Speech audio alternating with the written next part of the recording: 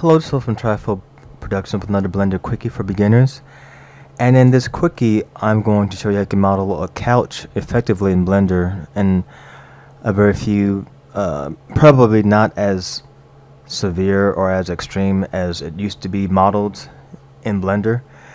And the reason why is I'll show you on later on in the video, but this technique can only be used in Blender 2.9 and above. Anything below 2.9 is not going to work as effectively and that's because of a special special brush set that's in Blender 2.9 and those of you who know who are used to Blender you know what I'm talking about. But the ones who are beginners it'll be a special surprise for you guys. But uh, we're going to start modeling this couch. And this is like the 10th time I've had to do this tutorial uh, I don't know how many times it's just crashed on the so I'm using my laptop at this point because on my PC the uh, Blender's crashed, the software recording that I'm using records crashed, so I've just pretty much shoved that to the side and now we're just sticking with our laptop or my laptop and we'll just get this done no matter what.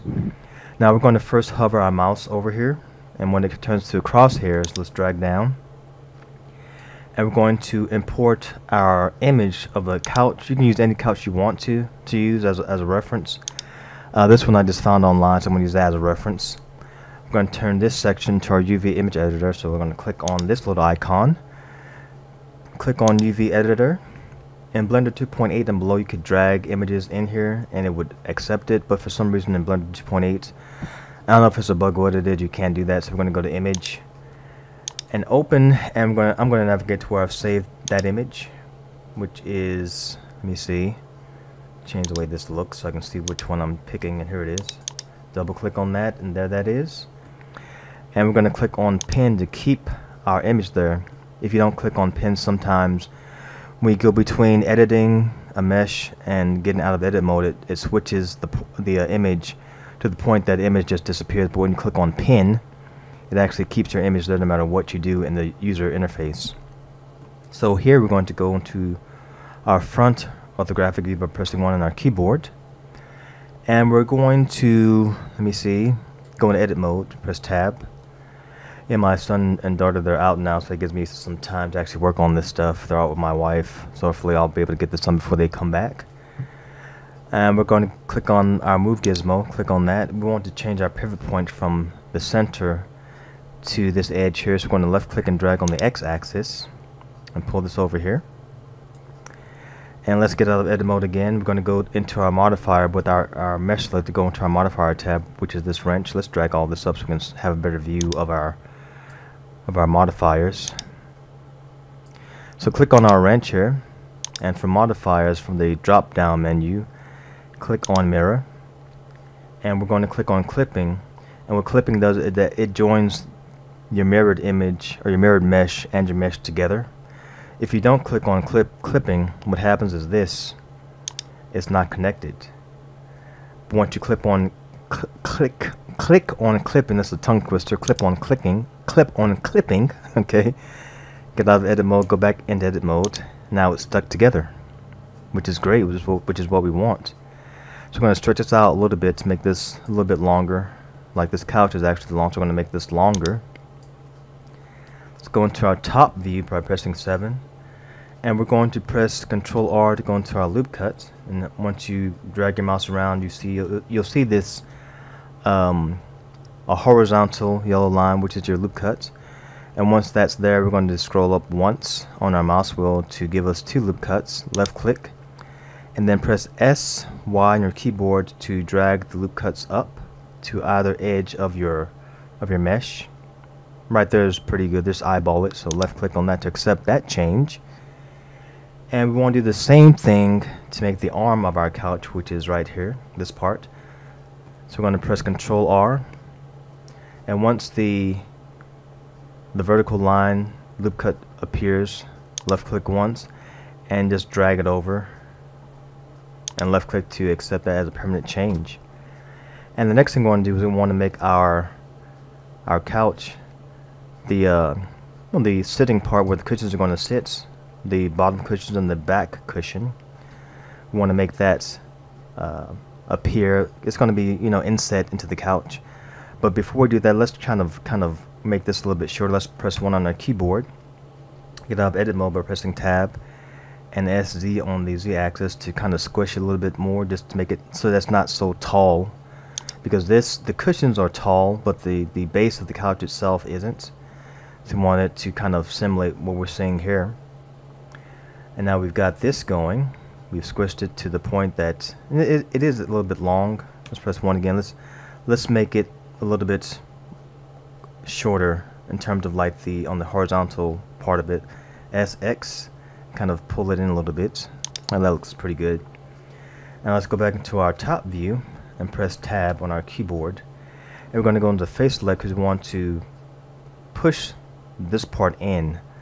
So face select left click on that part hold down shift left click there also. Let's go into the front view by pressing 1 and we're going to press E extrude left click and drag it on the Z axis drag this down until it until it's like where we want it to be where this the bottom of the couch is. So just pull this down a little bit more. And now we've got this this little inset here. Now obviously we don't want these meshes to be here. So we're gonna left click on that and then press delete on our keyboard delete the faces from the pop-up left click delete the faces and the same thing with this middle part left click delete faces delete faces same thing here. Okay now we have this space here and to take care of that we're going to fill that in by going to the edge select mode. Left click on that part hold down shift left click and then F to fill that in now we've got the bases of our couch but it looks really sharp on the edges. We want it to kind of be more beveled like it is here. And we're going to use the bevel modifier so click on add modifier and go up to bevel. Click on that and it's beveled but it's beveled a little bit too much. So we're going to decrease the amount of the bevel. Just give it a couple of clicks. And that looks pretty good. And to make it look even better press W on your keyboard and shade smooth and that looks much better. And that actually adds this little from the faces that we uh, deleted it gives us the impression that these this is the same for the couch which actually adds more detail to it which is helpful. And the next thing we're going to do is going to add the legs to the couch. So we're going to go we're going to kind of hold down shift and move our middle mouse button around to get a better view of the bottom and let go of shift and just kind of pivot like that with our middle mouse button to kind of see the bottom of our mesh here. Go into edit mode by pressing tab. We're going to go back into face select, left click on that face, hold down shift, left click on that face, eat extrude, left click and then drag down, left click and drag on the Z axis to give us our legs. Press 1 to see how that looks. And that looks pretty good. Looks pretty good. But let's make it look even better. But remember we're just using this as a reference. We're not trying to get it exactly like the couch we see in the image but just as a reference. And what we're going to do is we're going to just left click on that uh, bottom of that mesh the leg and press S on our keyboard just to scale it in. And do the same thing with that back leg. S on our keyboard and just eyeball it to scale it in one again get out of edit mode and that looks like a pretty nice base of a couch it looks pretty good. Okay, one again. Now the, the next thing we're going to do is we're going to model these cushions. We're not going to model the uh, cylinder cushions, just the rectangular shaped ones. And hopefully with this, it's not going to mess up because I did this on this on, on my PC. For some weird reason, it applied the modifiers, these modifiers, to the cushions, which I wasn't wanting that at all. So to ensure that doesn't happen with what we're doing now, let's press A just to clear out any kind of selection that we have in our user interface. We're going to press Shift A, Mesh, and then Cube. And then we're going to left click on that and drag this over. Okay, and for some reason it's still doing it here. It's applying these modifiers to our cube here, which is not what we want. Let's delete that. This is this is what I'm saying with you uh, 3D animation, you get these weird results sometimes that just don't make any kind of sense. Let's let's start a new collection. So let's left click on that, press then right click, new collection. Let's call this cushion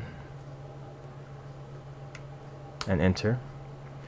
Left click again, right click, new um, collection. Let's call this couch. And we're going to just drag all this into this collection. That way the modifiers from this doesn't affect mod doesn't affect our cube, which would be our cushions. Let's click on cube and drag it. Hold down your left mouse button and drag it into couch. And then let's just turn this off. And then let's let's just focus on our cushion. And this thing is still these modifiers still haven't disappeared. I don't. Let's just ignore that. Let's press Shift A again. And let's press cube.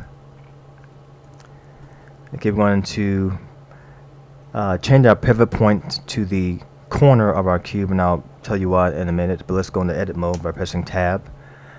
Left click and drag up on the z-axis, so our pivot point is at the bottom. Left click and drag on our x-axis so that it's in the corner. Then go into the top view 7 and let's just make sure that our cube is in the back right hand corner. So we're going to drag it on the y-axis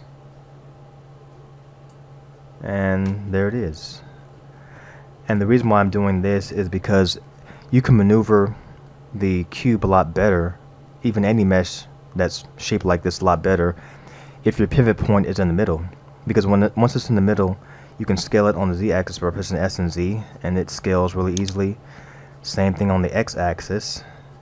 That's what that makes it more convenient for you when it, in, in terms of positioning and sizing the cube better within your scene.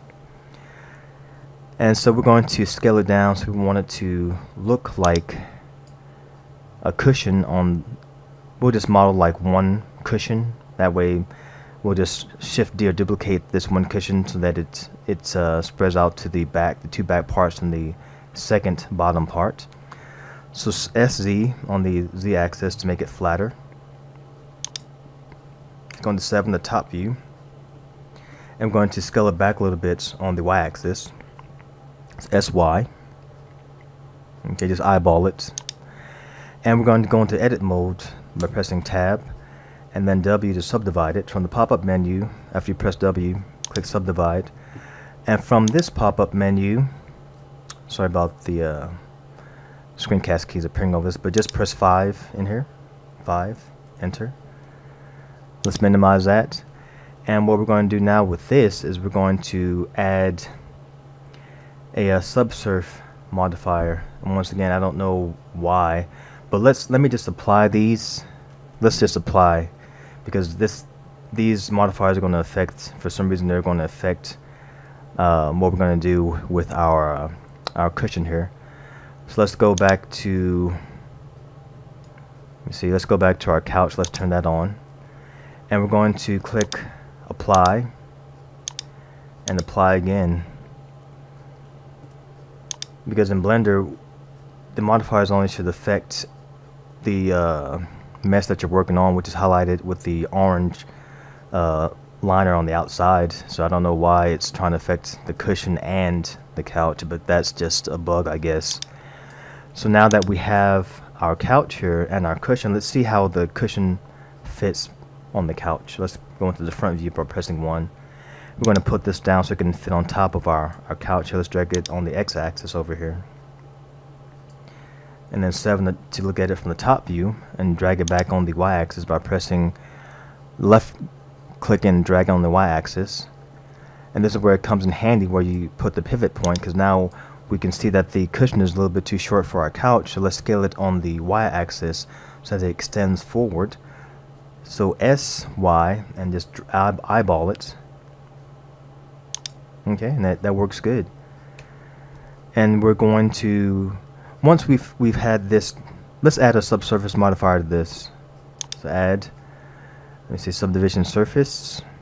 Let's scroll down. And it adds it to the whole our whole deal. Uh, actually what's it's adding it it actually added it to our couch and not to our cushion. I don't know why it did that. Uh, like I said before, th these bugs that happen in Blender, I don't know about 3ds Max or Maya, but uh, that happened in Blender, it's it's something else. I because I have done uh, I've done this tutorial before, and this didn't happen, but for some reason it's happening. Let me try something else. Let's press have our couch highlighted. Press Control A. I'm going to apply the scale to it, and then Control A again and apply all transforms. Let's click on our cushion again. Add modifier and let's go to subdivision surface. And once again it just applies it to our couch base but not the cushion. So I don't know. Let's do this so that we don't have to start this tutorial over. Let's close this out. And then we're going to delete our cushion here. This is the workaround that you have to do sometimes. This is just things you have to do in CGI animation just in general. When things like this happen, don't stop, just keep going. And come up with as much troubleshooting techniques as you can. That's the key thing. So what we're going to do now is this. We're going to delete our cube, our cushion. Let's delete that. Now let's not delete. Let's let's press Control C. And then we're going to let me see, pull that out and then we're going to just save this uh, file and save. And let's let me just save it. Let me just save it on the desktop. That's that's fine. Create a new folder for me. That's going to be couch. And then we're going to call this couch base. Couch base. Save blender file. And we're going to close this out let's highlight that again. Can press Control C to copy the cushion go to file new general. Let's not save that. Let's press delete on the keyboard and then Control V to import that cushion. See this is what you have to do in CGI whenever you're working with any kind of studio any kind of firm it's better to just keep going than to stop and start again. That's the that's the best advice I can give you at this point in time but let's start it off with this cushion. Seven the top, go in the top view. Just make sure our pivot point is still where it should be, which is that. We've already positioned the, the couch, uh, positioned it where it should be on the couch. And then we've already subdivided it, so let's add the subdivision surface to it. Subdivision surface, add that to it. And the next thing we want to do is let's crank that this up a little bit. Then we're going to press W on our keyboard and shade smooth. Okay that's there. Now we're going to press control C we're going to apply this modifier because you have to apply it in order to do this next step in blender. And in blender 2.91 you're to apply something a modifier you have to click on this down arrow. In the other versions it just it's just up front you can see it. But in blender 2.91 it's hidden so you have to click on the arrow and click apply. And then press control C the file, open recent, our couch base. Don't save this. Let's delete this. Delete. And then press Control V, and that's our cushion. This is what you have to do sometimes in order just to get get the results you need without having to start again. Seventh from the top. Okay, let's drag this over. So that's our cushion. First one so we can see how we can kind of position this a little bit better. Let's drag it down on the z-axis, drag it down. And we're going to press Shift D to duplicate that and drag it over. Now it does look a little bit short. That's why our pivot point where we placed it was important. So let's scale it on the z-axis, on the x-axis, SX, to make it a little bit longer. This also, let's drag this over on the x-axis, so SX also, and there you go and we're going to have to we want to put these cushions at the back of our couch also like we see in the image. We have these rectangular cushions here. Once again we're not modeling the cylinder ones just the rectangular ones. So we're going to press a left click on that count on that cushion. Hold down shift left click on this one. Shift D again. 3 to go into the side view then rotate it. Press R hold down control so can rotate it in increments I'm turning my screencast keys again. Okay. that working? Alright, that's good. Left click and drag on the y-axis. Let's drag this up also. Press 1. Now they're a little bit tall, so let's scale it on the z-axis by pressing S and Z. And once again, this is what helps when you pl place the pivot in the right place, which is in the corner. You can just scale it on the z-axis without having any issues in terms of, you know, am I scaling it right or where is it going and things like that. That would just be eliminated from your mind once you've put the pivot point in the right place. So scale it on the z-axis, left click to accept that change. Let's drag it up a little bit so it's not really intersecting into the bottom cushions all that much. Drag it over on the x-axis a little bit so it can be positioned in the middle a little bit better.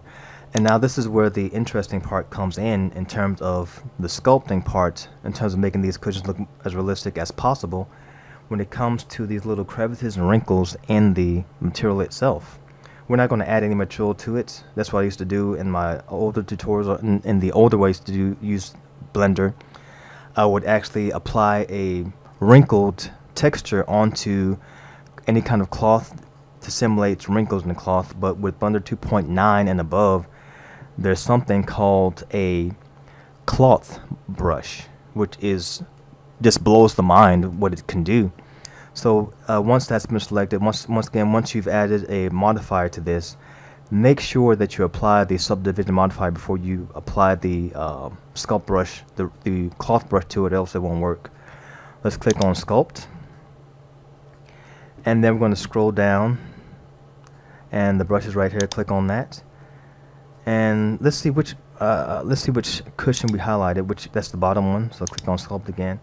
And watch what happens. Okay it says object has non-uniform scale so the sculpt brush may act kind of weird. And this is where we have to apply the uh, also apply the scaling so that we don't get any kind of results let's go back into layout mode. And we're going to highlight this is already highlighted by left clicking on that. So press control A again. And then apply the scale. Click on that left click on that control A again apply the scale left click control A apply scale left click control A apply scale. Now let's go back into sculpt mode click on that. And then we have our brush. You can notice that the warning didn't come back up again because we've applied the scale so now we don't have any issues left when it comes to applying this brush. You can set the radius up kind of high we want to get as much of this as we possibly can. And let's kind of crank up the strength a little bit and watch what happens when we apply this cloth brush to these cushions. Let's make sure we, let's see which um, cushion we're working on here. Oh, the, let's work on the bottom one first. Let's go back and sculpt.